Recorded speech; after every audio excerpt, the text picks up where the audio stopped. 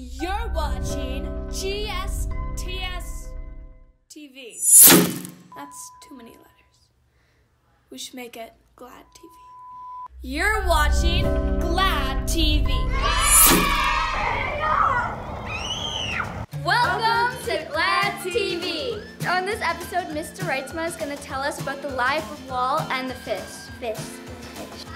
And we're also going to be doing experiments. We're also going to find out the name of our mascot, the Gladiator. And if you have anything for our future episodes, write them down and put them in the office. Now let's get on with our show.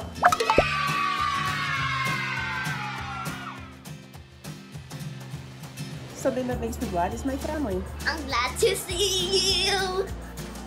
I'm glad for my teacher. Glad for my sister. I'm thankful for my family. My dog. I'm glad for food. Food. I'm glad for my family. I'm glad for my animals. I am so glad that you're here. I'm glad for my dog Brandy. For my basketball and my basketball team. Family and friends. Winter. One thing that makes me glad is math. I'm glad for the fact that my family loves me and that my friends care for me. I'm glad you're you.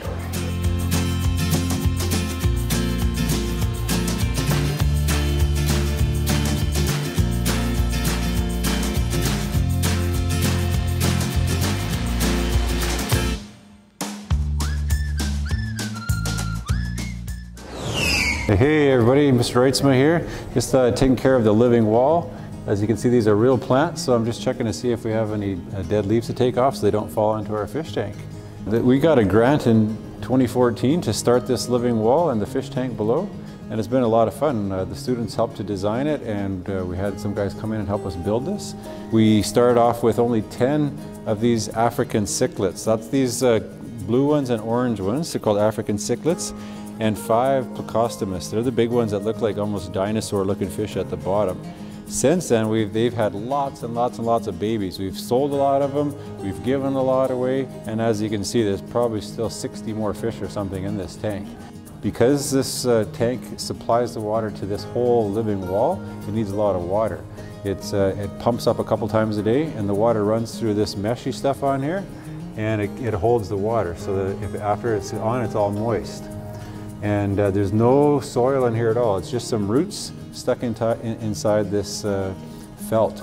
They all grow quite well with having no soil. Just the nutrients that come up from the water from the fish and just the, the artificial light that we're supplying them uh, with this grow light here.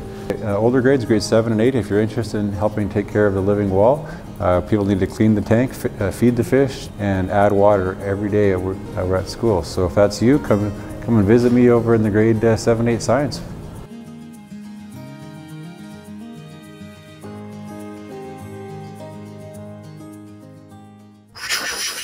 My favorite thing about being at Glendale and being a gladiator is that um, all the people here are very kind and respectful and that we have a lot of resources at our school that could help us learn and achieve our goals. If I'm having a rough day, somebody will either come talk to me or make me feel better. Achievement, respect, mindfulness, openness, unity, and resilience. I'm pretty much, I'm more like unity, I would say. I, I try to be resilient. It's sometimes difficult, but you always got to try your hardest, so. Probably openness. Well, I like to tell um, people stuff and I love to tell them about how I'm feeling. Respect. By trying my best to be kind to people, even if they're not very nice to me. Uh, achievement, because I always try my best and always achieve. Respect means that you, that you listen to one another and, and if somebody's trying to talk to you, just you you don't ignore them, you, li you listen to them. Our, we're a technology school, so we always are doing like fun things like coding and uh, making stuff and doing a whole bunch of cool stuff. The people here are generally really nice. The teachers are always great. And it's just a great school. What does it mean to be a gladiator? Uh, to be kind and strong and uh, to help others. And no matter what, just push through whatever and just try to help people as much as you can.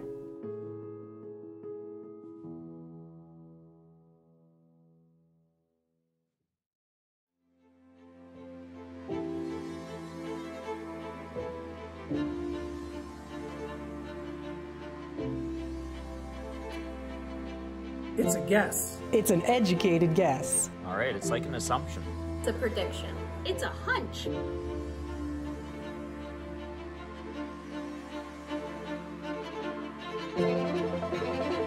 Hey, ladies and gentlemen, Mr. Roz here, grade 5, 5R, representing the Div 2. And today we're going to look at the experiment of dropping Mentos into soda. All right, I chose soda for a special reason because you can see the reaction that's going to happen. So here we have club soda. Here we have the label off. And first I want you to make a prediction of what happens when you drop a Mentos into a carbonated drink.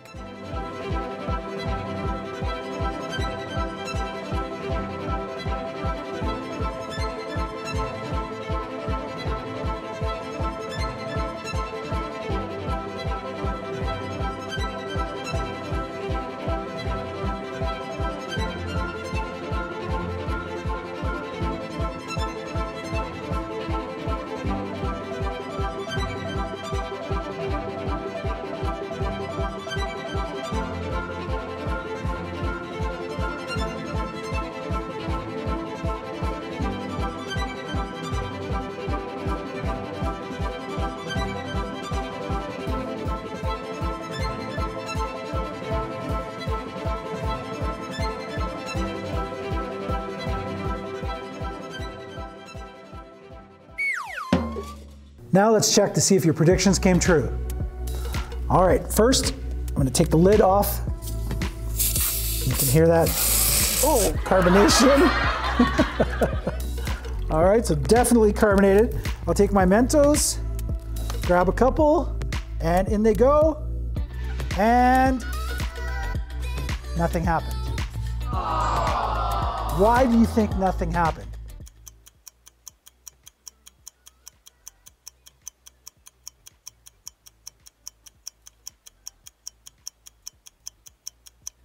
Okay, the reason it didn't work is because Mentos have little pits called nucleation sites. And what I did beforehand and you didn't see was I had popped them in my mouth and I licked them all off. All right, so this, this Mentos was nice and smooth. It did not work. But now, let's try this again. All right, with two fresh Mentos and a fresh bottle of soda. And right away,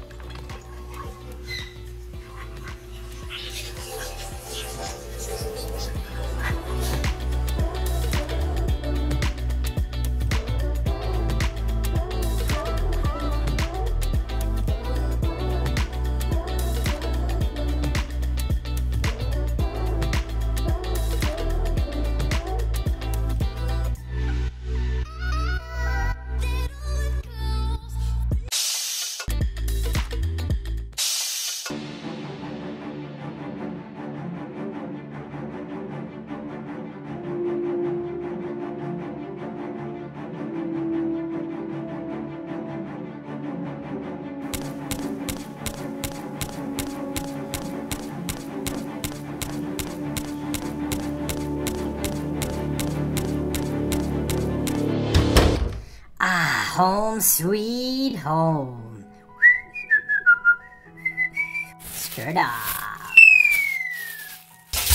Off.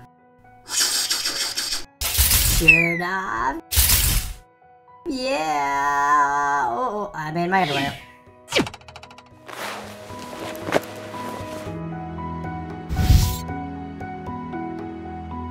Hi, everybody. My name is Hypotheses.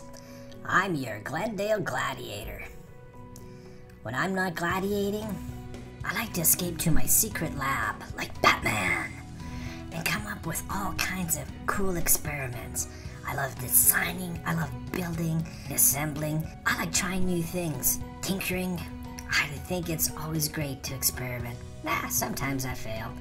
But I'm resilient. I don't give up easy. And I learn from my mistakes. But anyways, I thought I'd introduce myself to you. I look forward to meeting each one of you. And I'm looking forward to a great school year. Well, what's left of it anyways. The best way to get to know each other is through a game. So let's play a game of Science Says. Woohoo! Let's go, gladiators! It's time for Science Says. Science Says is like the game Simon Says. We're gonna do a little example for you.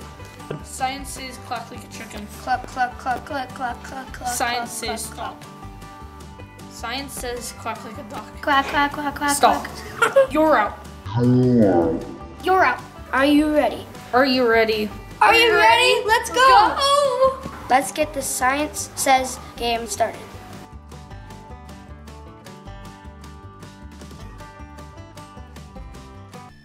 Science says jump around like excited atoms. Stop! Oh, you're out. Science says wave your hands in the air little counterclockwise. Faster! Faster! Faster! Oh, if you were going faster, you're out. Science says you're a seed that's growing into a huge plant. Science says swim around like the fish in our fish tank. Science says pretend you're ice and you're melting. Stand up! Uh oh, got a couple of you. Science says spin around the same way as the earth rotates. Science says show me how you'd walk on the sun. Science says show me how you'd walk on the moon. Now jump on one foot, out the other. Oh. Science says point north. Science says point south. Point east. Point west. Point at your pencil. If you point it anywhere else besides north and south, you're out. Science says make 90 degree angle with your hands. Now make a 45 degree angle. Uh oh, someone else is out. Science says celebrate like you just won the science fair. Now cry that you lost. Uh oh, someone's out. Celebrate like you just got hot lunch. Science says stay two meters away from the person next to you. Okay, if you're still in the game, raise your hand. Raise your hand, out of the game now. Simon says if you're still in the game, you're going to get some prizes. So your teacher will get you those prizes probably by next day. Everybody, thank you for playing. It was an awesome time. Ah, That's me saying goodbye.